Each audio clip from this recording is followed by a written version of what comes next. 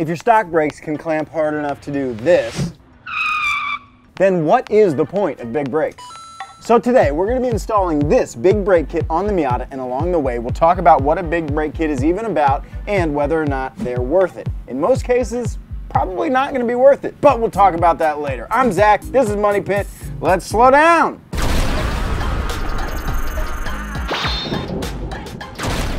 Four million subs. Thank you guys so much, whether it's showing up in the comments Or the subreddit, or on social media. it means the world seeing you guys take part in our community. to celebrate this monumentous occasion and to say thank you to you guys. We have made this commemorative 4 million sub sticker. It's not for people who come for five, it's for you guys, the fantastic four million. and we're only gonna make as many as we sell. So they're never going to make it again. Once they're done, they're done. This bad guy is proof that you are here right now. So again, thank you from the bottom of my heart. Um, Donut is only Donut because of people like you, and I can't thank you enough.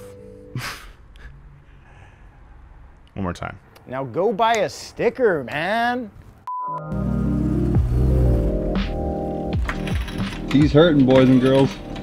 Slept weird. Taking me out of commission. Look, I know you all want an excuse to get big brakes, and I know you probably got a little scared when I said that they might not be worth it, but you know, we gotta talk about it. And then eventually we'll talk about when they are worth it, because obviously sometimes they are. So your OEM brakes are designed to stop your car during normal driving without making any noise, without making too much dust, while lasting a long time, and well, costing relatively little to produce. So that's just to say that they're not very fancy. It's not to say that they're not powerful because basically all of you with a working vehicle could go get in it right now, go down the road, slam on the brakes and lock up your front tires, which means that they're powerful enough.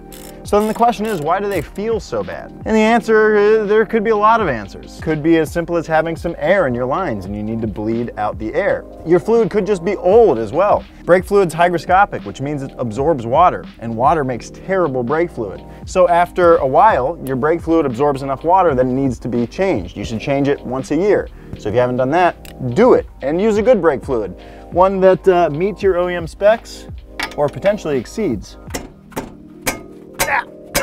And probably most importantly, your brake pads. Different pads will have different characteristics, which means your brakes will feel differently depending on which kind of brake pad you're running. Let me show you what we're gonna be running in our new kit. So these are the pads that we selected to run with the kit that we're installing on the Miata. These are a semi-metallic kind of pad, and that generally means that there's about 30 to 65% of the pad's compound is metal, and the rest is whatever they use to bind the metal together. There are also organic pads, uh, but those tend to wear out a lot quicker and make dust and noise. And then there are also what are probably overall the best pads, which are ceramics. Uh, they're great at dealing with heat, they're not very noisy, they last forever, although they are a little bit more expensive. So Wilwood's got this nice BP10 compound. That's what we're gonna be normally running on the Miata. And then when we do a heavy track day, we'll swap in some track pads. We should take a look at Wilwood's website so you can see what I'm talking about. You can see what you would look at if you were shopping for pads. Okay, so here we've got the page for the pad that we've got here. And the peak temperature rating is 8 to 900 degrees Fahrenheit. Uh, we've got some specs, and then we've got performance characteristics. Medium friction, a smooth engagement, low abrasion on iron rotors, so that means that it's not just gonna chew through your rotors. So it sounds like a pretty tame, dailyable pad that isn't gonna crush through our rotors and isn't gonna be noisy or hard to get up to temperature. It has great friction at low temperatures and it starts to fall off around 900 degrees. The issue can be that a pad that can deal with higher temperatures sometimes isn't as effective at lower temperatures. So that's one of the reasons you won't run the most aggressive pad you can because sometimes you gotta get those pads up to temperature. And it can be scary if you press the brake brake pedal as soon as you get in the car and not that much happens. So this is a good temperature range for our daily brake pad. Uh, and then we'll probably wanna step up to one of these pads that allows us to get a little hotter for our trackpad. So if you're shopping for pads, spend some time on a page like this, do some reading, understand what the differences are, and understand what you need, and you'll have a selection in no time. So our brake rotor upgrade is this Wilwood two-piece rotor that came in the kit from Flyin' Miata because it was the best rotor they could find. So these rotors are a two-piece. I still have to put them together and that's great because obviously we get the strong iron ring, but then we get to save some weight by using aluminum for the center. So I'll put these together and they should look pretty awesome too. Now let's talk about the design because there are some different rotor designs. If you're out there shopping, you've probably seen cross-drilled and slotted rotors. Drilled rotors aim to increase cooling of the rotor by increasing airflow. And they can look cool and they can do their job in terms of cooling. The problem is, in practice, most drilled brake rotors that I see in real life end up cracking. I'm not a big fan of drilled rotors, uh, but if you're gonna go with drilled rotors, you gotta spend the big bucks and get the good stuff. Now, slotted rotors, don't really come with any downsides, but their job is a little bit different. They don't intend to cool the rotor, they intend to basically clean the brake pad. So these slots wipe clean the, uh, the surface of the brake pad from any debris, any gas, any dust, any buildup to try to keep the pad to rotor contact pure and clean and keep your brakes as good as they can possibly be. But neither of those things are too terribly important, drilled or slotted rotors. The real important part is that you get a nice quality material that can withstand your brake pads and won't warp. All right, so let's say you've done all these things. You've done braided stainless brake lines, you've done really nice pads and rotors. Well, your brakes probably feel pretty good. However, if you're really out there driving, you're doing hard track days, road racing, or really pushing it in the canyons and pushing a lot of heat into your brakes, that still might not be enough. You still might be overheating your brakes. And that's really what it all boils down to. So that's why I got all of this. So I got a four-wheel big brake kit from Flyin' Miata and I am psyched. This thing is gonna be sick. It's got Wilwood calipers at all four corners and of course they're red, so they're gonna look awesome. Also got some anodized purple brackets. I love purple anodized stuff. That's just a fact. So we've got our red calipers, our purple brackets, we got two-piece rotors, we got some nice daily pads, we got stainless lines, and we even have a brake proportioning valve so I can control how much power goes to the front and to the rear, respectively, in terms of braking. Honestly, this is just gonna be fantastic. Uh, and, uh, okay, this is the other thing. Big brakes, even if you don't need them, are sweet. You know when you see a car with a big brake kit, you know that guy knows what's up. So hopefully these big fat rotors and uh, pretty sweet pads will keep us from ever experiencing brake pad fade. Good Lord, I feel like I've been talking all morning. Why don't we just go over there and start installing some stuff?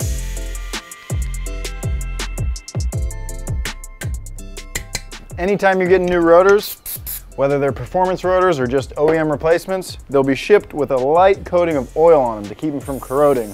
You gotta clean that off. So as you can see, the new brakes aren't way bigger and honestly, they feel like they weigh about the same uh, because this is a two-piece with aluminum. The point of this is that you don't want to add a bunch of unsprung weight to your car. Uh, that can just make it handle a lot worse, make it accelerate slower, and make it feel a lot worse. And that's not what we want for the Miata, obviously. So I want to compromise. I want the best of both worlds. I want a lot of braking. I want a lot of heat capacity in my brakes, but I don't want them to weigh a bunch. So that's why this is such a good kit. It's the right size. It's not overkill. It's the correct kill. You know what I mean? Got our little spacer here. All right, the caliper bracket fits, everything looks good. There's no clearance issues or anything like that. Uh, so now I'm gonna go ahead and put some Loctite on the bolts, put them back in, tighten them down, and we'll put the rotor and caliper in place, hook the line up, and then this corner is pretty much done, aside from bleeding, but that's later. Let's go get a caliper.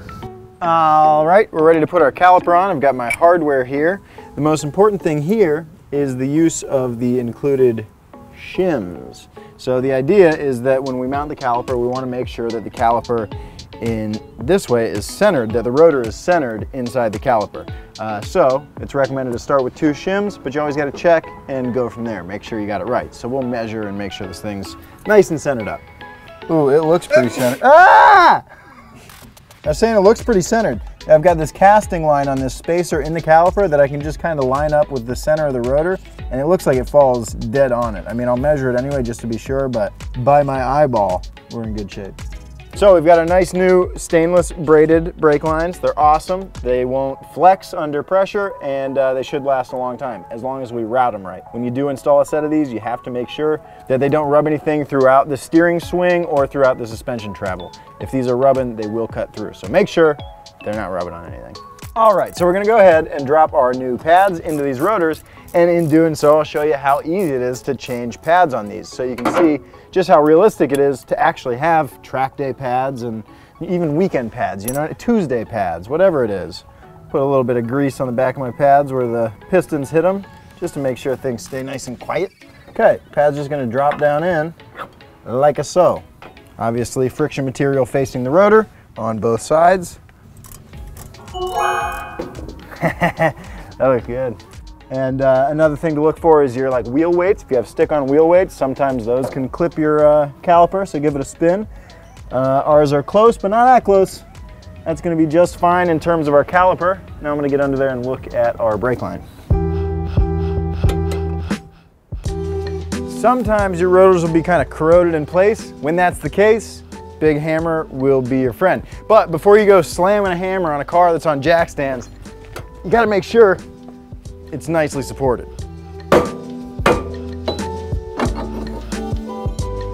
Hey.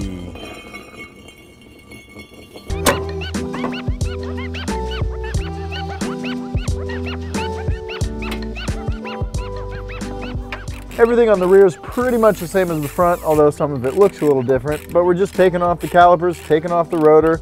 We're gonna move the heat shield. We do have to trim this heat shield a little bit to clear our new brackets. Although we are gonna have to install parking brakes, that'll be different, but we haven't gotten there yet. So our brake rotors on the rear, you see, are solid, and usually the rear brakes do a lot less of the work on a car than the front brakes. And on the Miata, that's especially true. Uh, people say that the rear brakes basically do nothing. And that's a big reason that Flyin' Miata includes that proportioning valve that we'll install. Uh, that'll allow me to control the bias and control how much braking goes to the rear.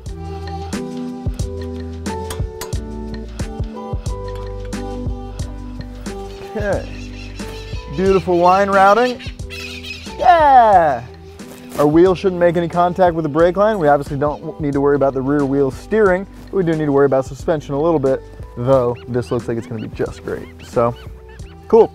All right, so the game plan for the parking brake is to get the stock parking brake cables out and then they'll be replaced by a set that works with the Wilwoods. Cable will come up and it'll kind of follow the original cable's routing. It'll get to the caliper and then I have to install a little lever arm that'll just kind of squeeze. Sounds like it's not gonna be the best parking brake, but technically be a parking brake. Man, I can't wait for the day when we build our own shop.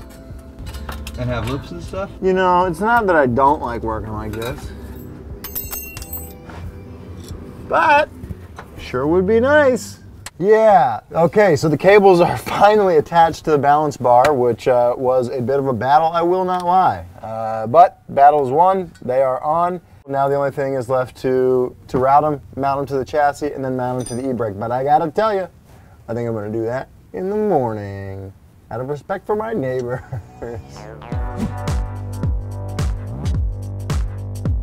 All right, we're back at it. Another beautiful day. Uh, we don't have that much left to do. Should be a pretty smooth day, I hope. Uh, of course, I'm here. I've had to take the rear calipers back off to install the parking brake arms. Uh, I guess I would have known that I should have done that first had I read the instructions. But it's times like these that I'm reminded of my old family motto, the old Jobe motto. If it's not done twice, it's not done right. So I guess we might as well just do it again and then things will be okay.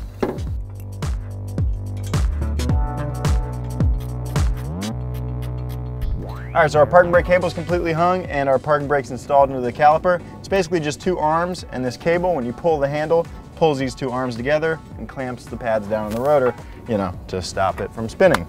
Uh, so should be pretty simple, should work okay. The big question is whether or not this is all gonna fit under the wheel. Oh yeah, baby, it's close, but we're gonna be just fine. Now we just need to go do the same thing to the other side. All right, so yesterday to help me get the parking brake installed, I loosened the adjustment here at the handbrake. There's just a nut with a slot in the top that you tighten or loosen depending whether you want to tighten or loosen the cable to the e-brake. Not bad. We'll call that an adjustment for now. We might need to fine tune it once we get the car back on the ground, but for now that's good. So that's gonna wrap up the rears. We can put the wheels back on. And then let's go do that proportioning valve, then bleed this thing and go drive it. So by installing this valve, I'll be able to control how much power goes to the rear brakes, and I'll be able to make them do a lot more work, which should help the Miata slow down a little bit quicker. So this right here is our stock distribution block, goes from the master cylinder to the front and rear brakes.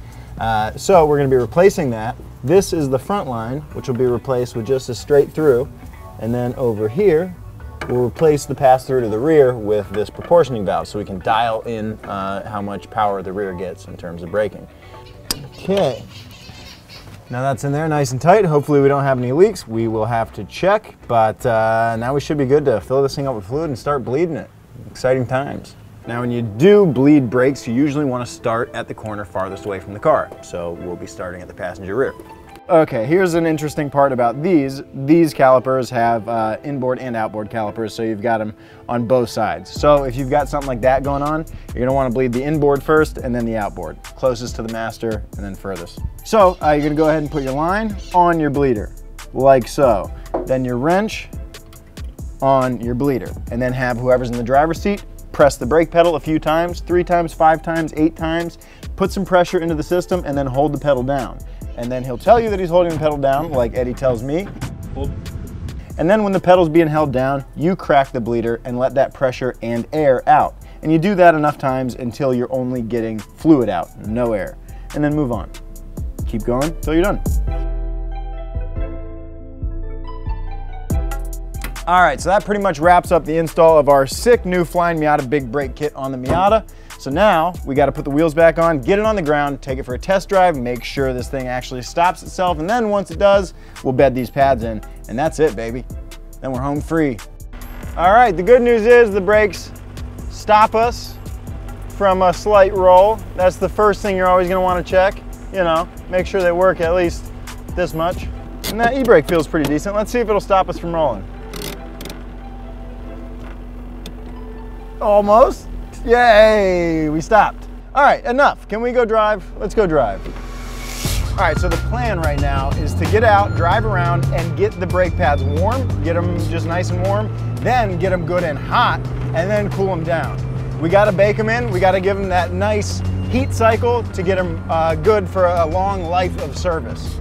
It's also important when you get them good and hot, once you park the car, if they're still hot, don't put your e-brake on. Don't make the pads touch the rotors because then they can, uh, they can warp your rotors.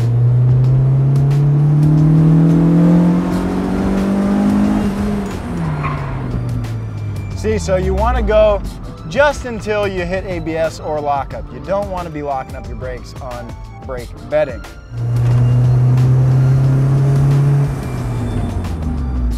Oh yeah, baby. Oh yeah. They're feeling great.